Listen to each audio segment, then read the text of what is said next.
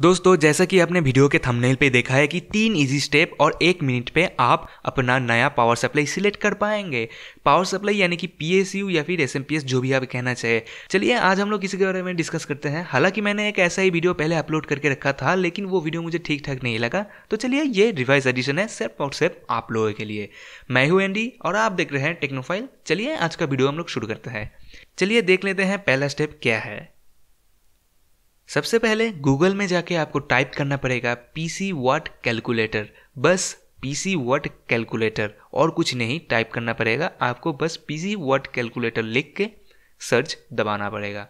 उसके बाद search result पे कूलर मास्टर की तरफ़ से जो पहला रिज़ल्ट आएगा, उस पर आपको क्लिक करना पड़ेगा। और इसी के साथ आपका पहला स्टेप कंप्लीट हो जाएगा। चलिए दूसरी स्टेप की ओर बढ़ते हैं। तो यहाँ पे दूसरा स्टेप जो है, दूसरा स्टेप पे आपको एक ऐसा पेज दिख जाएगा, जहाँ पे आपको दिख जाएगा बहुत सारा ऑप्शन जहाँ पे आप एंटर कर सकते हैं। आपके पास कौन सा प्रोसेसर है? मतलब आप पीसी बिल्ड जो करने वाले हैं या फिर आपके पास जो एग्जिस्टिंग पीसी बिल्ड है, उसके अंदर कौन सा प्रोसेसर है, कितना रैम है, कौन सा टाइप का रैम है, और उसके बाद आपके पास कितने ग्राफिक कार्ड है। अगर एक ग्राफिक कार्ड हुआ तो भी आप इंटर कर सकते हैं, दो ग्राफिक कार्ड हुआ तो भी आप इंटर कर सकते हैं। और उसके साथ साथ अगर आप माइनिंग करते हैं तब भी आप यहाँ पे एंटर करके देख सकते हैं कि आपका पीसी कितना वाट कंज्यूम कर रहा है। रेफरेंस के लिए मैं यहाँ पे एक फिल्ड अप फॉर्म आपको दिखा रहा हूँ और ऐसे ही आपको फिल करना पड़ेगा। फिल करने के बाद आपको सिर्फ़ दबाना होगा कैलकुलेट के ऊपर। तो चलिए इसी के साथ हमारा दूसरा स्टेप भी कंप्लीट हो गया है। चलिए हम लोग बढ़ते हैं तीसरे स्टेप की ओर। तो यहाँ पे जो तीसरा स्टेप आ गया है, तीसरे स्टेप पे जो कैलकुलेट बटन को दबाने के बाद ही आपके पास रिज़ल्ट चला आएगा पहला रिज़ल्ट आएगा, आपका कितना वाट कंज्यूम हो रहा है। दूसरा रिज़ल्ट आएगा मिनिमम आपको कितने वाट के पावर सप्लाई के साथ जाना चाहिए। और तीसरा रिज़ल्ट आएगा कूलर मास्टर की तरफ़ से एक रिकमेंडेड पावर सप्लाई तो मेरा यहाँ पे कहना यह है कि आपका जितना वाट कंज्यूम हो रहा है, उसको आप दो से मल्टीप्लाई कर दीजिए। मान लीजिए आपका टोटल कंज्यूम हो रहा है 250 वाट अगर इसको आप मल्टीप्लाई कर देते हैं दो के साथ तो यहाँ पे निकल के आता है 500 वाट तो मैं यहाँ पे कहना चाहता हूँ कि आपको 500 वाट का पावर सप्लाई लेना चाहिए। अभी 500 वाट हम लोग क्यों ले? आपके पास एक सवाल आएगा। लेकिन उससे पहले एक सवाल आएगा, हम लोग जब 500 वाट का पावर सप्लाई लगाएँगे, तब क्या टोटल 500 ड्रॉ होगा? जी, बिल्कुल नहीं।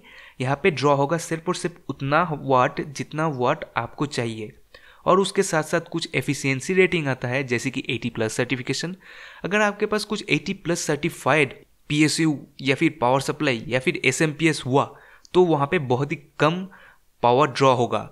चलिए एक एग्ज़ाम्पल ले लेते हैं। वहाँ पे बहुत सारे 80 प्लस सर्टिफिकेशन होता है, जहाँ पे आपको देखने को मिलेगा सबसे कम कीमत में स्टैंडर्ड 80 प्लस सर्टिफिकेशन और उसके बाद आएगा 80 plus bronze gold silver platinum titanium बहुत सारे। और उसके प्राइस भी बहुत ऊँचे होते हैं। अभी के लिए हम लोग स्टैंडर्ड 80 प्लस का एक एग्ज़ाम्पल ले लेते हैं। और अगर आपको दूसरा सर्टिफिकेशन के बारे में भी जानना है तो ऊपर आई बटन पे आपको वीडियो मिल जाएगा, उसको आप देख सकते हैं। तो यहाँ पे होता क्या है? हर एक पीएसयू तीन तरह के लोड पे काम करने के लिए डिज़ाइन किया जाता है। पहला होता है ट्वेंटी परसेंट लोड दूसरा होता है फिफ्टी परसेंट लोड और तीसरा होता है हंड्रेड परसेंट लोड तो यहाँ पे 500 वाट अगर 500 वाट का पावर सप्लाई अगर सिलेक्ट करते हैं तो पावर 500 वाट का पावर सप्लाई का 20 परसेंट होता है 100 वाट 50 परसेंट होता है 250 वाट और 100 परसेंट होता है पूरा का पूरा 500 वाट तो ये वाट रिप्रेजेंट मतलब ये परसेंटेज ऑफ़ वाट रिप्रेजेंट करता है आपके सिस्टम को कितना चाहिए। मान लीजिए आपको चाहिए हंड्रेड वाट तो अभी अगर आप हंड्रेड वाट पावर सप्लाई किसी standard eighty plus certified PSU से लेते हैं, जिसके ऊपर लिखा हुआ है 500 वाट का ये पावर सप्लाई है तो वहाँ पे आपको टोटल कंज्यूम होगा 125 वाट ये 125 वाट कैसे आया? क्योंकि 80 प्लस का मतलब ये होता है कि हर हालात पे, हर हालात मतलब 20 percent, fifty percent, hundred percent load पे वहाँ पे 80 परसेंट आपको एफिशिएंसी देखने को मिलेगा।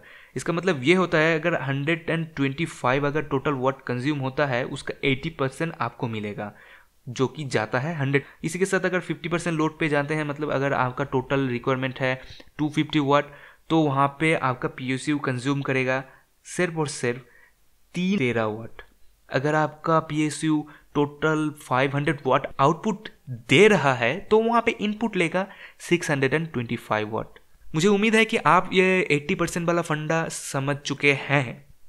तो इसी के साथ अगर आप 80 plus bronze silver gold platinum titanium लेते हैं तो वहाँ पे देखने को मिलता है कि 50 परसेंट जो लोड है, वहाँ पे करीब करीब 96 परसेंट अगर एफिशिएंट हुआ तो 20 परसेंट पे वहाँ पे 90 परसेंट एफिशिएंट होता है। और 100 परसेंट पे वहाँ पे 90 परसेंट एफिशियंट होता है। मतलब ऐसा एक फिगर निकल के आता है। ये टाइटेनियम का एक एग्ज़ाम्पल है तो यहाँ पे आप जो देख रहे हैं, फिफ्टी परसेंट में सबसे ज़्यादा एफिशियंट होता है हमारा पीएसयू दूसरे अगर हम लोग ब्रोंज की बात करें तो भी वहाँ पे 50 परसेंट पे ज़्यादा एफिशिएंसी देखने को मिलता है। तो इसका मतलब क्या हुआ, अगर हम लोग किसी भी पावर सप्लाई को 50 परसेंट लोड पे चलाएँ तो वहाँ पे सबसे ज़्यादा इलेक्ट्रिसिटी पे बचत देखने को मिलेगा। तो इलेक्ट्रिसिटी पे अगर आप बचत चाहते हैं तो यहाँ पे आप 80 प्लस सर्टिफिकेशन के साथ जाइए। अगर आप 80 प्लस सर्टिफिकेशन के साथ नहीं जाना चाहते हैं तो आप चीप पावर सप्लाई के साथ जा सकते हैं, लेकिन मेरा रिकमेंडेशन चीप पावर सप्लाई नहीं होगा। अभी बोलेंगे क्यों नहीं होगा? चलिए आप लोगों के साथ एक छोटा सा एक्सपीरियंस मैं शेयर करता हूँ। तो जब हम लोग six I three six generation के साथ कुछ पीसी बिल्ड करने वाले थे तो वहाँ पे हमने एक 450 वाट का चीप पावर सप्लाई ले लिया। तो ये 450 वाट का चीप पावर सप्लाई लेने के बाद हम लोग देखें कि हमारा तो टोटल वाट कंज्यूम करीब करीब 100 वाट पे ही हो जाएगा। तो ये पावर सप्लाई हमारे लिए ठीक है। और इसका प्राइस था सिर्फ़ और सिर्फ़ छः सौ रुपये और छः सौ रुपये में और कौन देगा भाई? 450 वाट का power supply with one year warranty cheap वाला है। फिर भी उस पर वारंटी आता है। चलिए, ये वाला पावर सप्लाई लगाने के बाद सिर्फ़ और सिर्फ़ हमारा मशीन हफ़्ते भर चला और उसके बाद पावर सप्लाई में शॉर्ट सर्किट हो गया। तो पावर सप्लाई रिप्लेस करने के लिए हम लोग दे दिए और लोकल स्टोर से हम लोग ये पावर सप्लाई लिए थे तो लोकल स्टोर से कुछ दोस्ती वगैरह था मतलब ऐसा ही कुछ था तो वहाँ से कुछ बेनिफिट हमें मिलता था। बेनिफिट यानी कि अगर कुछ प्रॉब्लम हो जाए, जैसे कि ऐसा प्रॉब्लम हो गया तो उसने क्या किया 450 वाट वाला पावर सप्लाई हमसे ले लिया और हमको एक नया पावर सप्लाई दे दिया। विदाउट एनी ऑब्लिगेशन क्योंकि हम उसको कस्टमर देते हैं, इसीलिए ऐसा कुछ फैसिलिटी हमें प्रोवाइडेड है। और उसके साथ साथ वो लोग हमें डिस्काउंट भी देते हैं चीज़ों के ऊपर। तो उनसे फिर 450 फिफ्टी वाट का सेम चिप वाला पावर सप्लाई हम लोग लेके आए। लेकिन ये वाला पावर सप्लाई भी ज़्यादा दिन तक नहीं चला। फिर ये वाला पावर सप्लाई भी हफ़्ता दो हफ़्ता चला और उसके बाद बस उस उस पर भी कुछ फ्लैश हुआ, बस गया। उसके बाद जो पहला वाला पावर सप्लाई हमने दिए थे तो उसका एक रिप्लेसमेंट आया था। रिप्लेसमेंट में हमें एक प्रीमियम पावर सप्लाई मिला। मतलब 80 प्लस सर्टिफिकेशन वाला मिला। कैसे मिला, क्यों मिला, ये मैं नहीं जानता, लेकिन हमें मिल गया। मिलने के बाद हमने उसको हमारे पीसी में लगाया। पीसी में लगाने के बाद अभी तक हमारा पीसी बहुत ही अच्छे से चल रहा है। आज भी कोई इशू पावर सप्लाई को लेके नहीं है। लेकिन वही दूसरी तरफ़ मैं 450 वाट वाले वही पावर सप्लाई दूसरे एक मशीन पे यूज़ कर रहा हूँ, जहाँ पे 65 वाट का एक सीपीयू है। और उसके साथ साथ G T X ten fifty T I O C edition को लगा के ओवरक्लॉक भी किया गया है, बहुत सारा टाइम गेम भी किया गया है, तीन साल हो गया है वो वाला पावर सप्लाई लेकिन उसके साथ कोई भी गड़बड़ नहीं देखने को मिला है। मैं आपको कम कीमत वाला पावर सप्लाई क्यों नहीं रिकमेंड कर रहा हूँ? उसका कारण यह है कि अगर आपका पावर सप्लाई किसी कारण ख़राब हो जाता है तो वहाँ पे मैं ही जिम्मेदार हूँगा क्योंकि मैं आपको रिकमेंड कर रहा था। इसलिए मैं यहाँ पे आपको चीप वाला पावर सप्लाई तो कतई रिकमेंड नहीं कर रहा हूँ, क्योंकि वहाँ पे एक नंबर वहाँ पे 80 प्लस सर्टिफिकेशन नहीं होता है। उसका एफिशिएंसी रेटिंग कितना है वो भी मुझे मालूम नहीं। उसका एफिशिएंसी रेटिंग 60 परसेंट भी हो सकता है। पावर सप्लाई लेने के बाद आपको बिजली में बहुत पैसा देना पड़ेगा। तो इसी चीज़ को एलिमिनेट करने के लिए मैं यहाँ पे आपको बोल रहा हूँ कि आप 80 प्लस सर्टिफिकेशन के साथ जाइए, वो आपके लिए बेस्ट उपाय होगा।